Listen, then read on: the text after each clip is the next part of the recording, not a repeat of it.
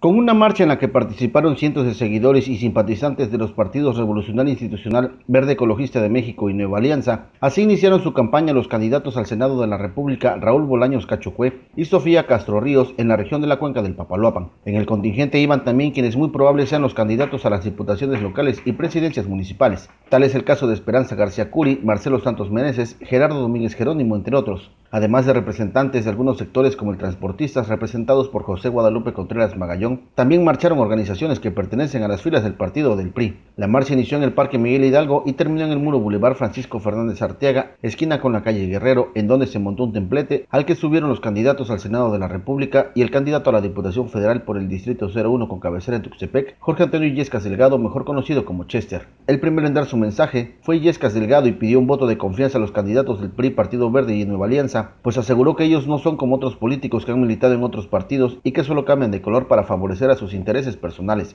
Les pido que nos den una oportunidad en base a nuestros hechos. No les vamos a fallar porque tenemos los mejores candidatos. Nosotros no venimos de otros partidos, como muchos que han militado en un partido y no se han llenado, y se han ido a otro partido y no se han llenado, y se han ido a otro partido y todavía no se terminan de llenar. Por eso nosotros no somos tibios, nosotros somos fríos o somos calientes, estamos hechos de una sola pieza. Y yo quiero pedirles que nos den esa oportunidad, porque vamos a hacer equipo con ustedes, porque vamos a trabajar por la cuenca, porque la gente lo que quiere son resultados y esos resultados son los que les vamos a dar. Por su parte, Sofía Castro aseguró que la educación es la ruta para lograr que México se coloque en el rumbo del desarrollo y agregó que el PRI ha creado las instituciones que velan y cuidan por los anhelos de los mexicanos y los derechos de cada uno de los habitantes del país. Que no podemos permitir que un país que va hacia adelante se pretenda ir hacia atrás. De ningún modo.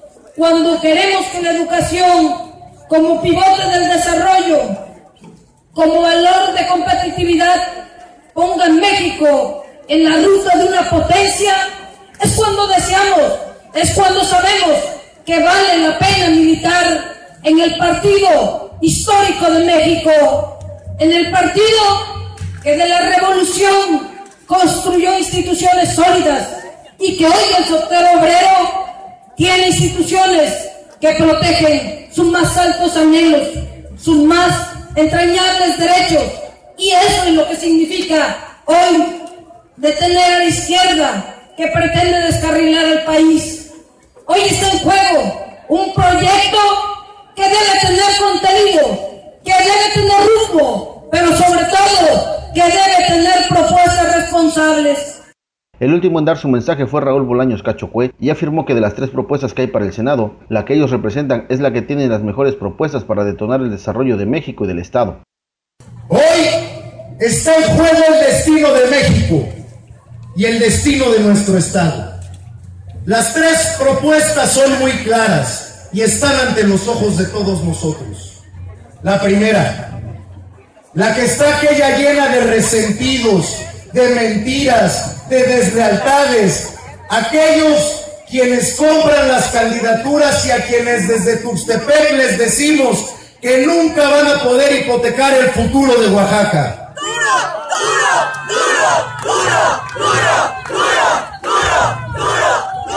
La segunda, la de aquellos que nos insultan con mentiras vacías y falsa demagogia que creen poder solucionar problemas tan añejos de nuestro Estado.